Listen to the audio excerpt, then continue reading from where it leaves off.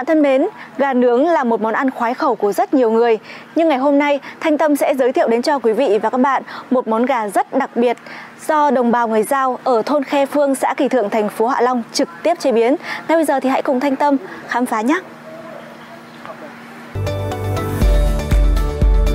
Người đồng hành với Thanh Tâm trong chương trình ẩm thực Quảng Ninh kỳ này là anh Lý Tài Ngân, đến từ khu du lịch cộng đồng Kỳ Thượng Am Vác Farm. Hôm nay, anh Ngân sẽ thực hiện món gà bản nướng vô cùng thơm ngon hấp dẫn.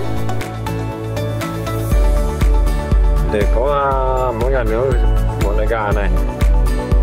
Nguyên liệu kèm theo là có à, lá tươi của mắc khén này, cái là à, mật ong này, à, hạt mắc khén này, à, hạt dồi này, kèm theo là có aji ngon và mì chính. Đây là với là muối da để à, khi mình làm nước chấm gà khi nướng xong. Nguyên liệu chính tạo nên linh hồn của món ăn là gà bản tươi. Đây là giống gà bản địa, được bà con nuôi bằng ngô, thóc khoảng một năm. Thịt rất chắc, ngọt và đặc biệt khi nướng sẽ không bị nứt, vỡ.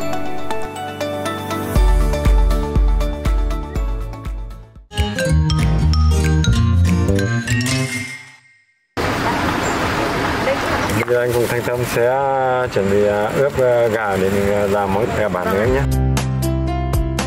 Gia vị tẩm ướp gồm lá mắc khén tươi, hạt dồi, hạt mắc khén, hạt nêm, mì chính, mật ong.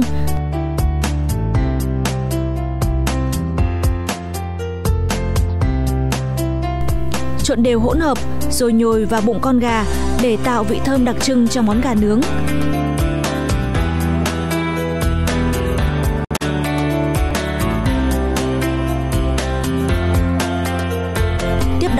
Trộn đều hỗn hợp gồm mật ong, nước lọc và một chút dầu hào, phết lên da gà để tạo thêm hương vị và màu sắc cho món ăn.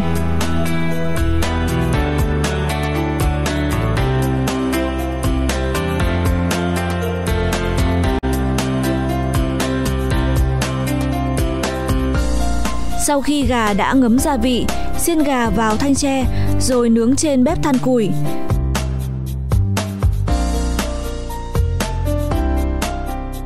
Trong lúc nướng, quay đều tay để gà chín tới, không bị khô và cháy.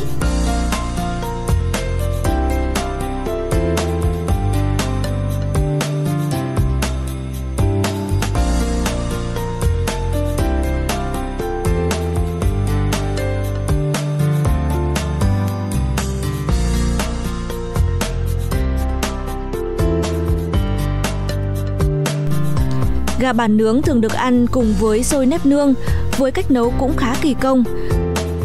Người dân kỳ thượng sẽ dùng các nguyên liệu tự nhiên như lá lam, quả rành rành, rửa sạch, luộc lên rồi lấy nước, ngâm gạo, tạo nên những màu sắc bắt mắt như tím, cam vàng.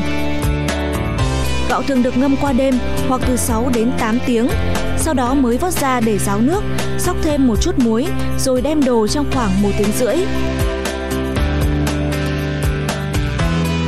Xôi chín tới ăn rất mềm dẻo và thoang thoảng mùi thơm của nếp nương.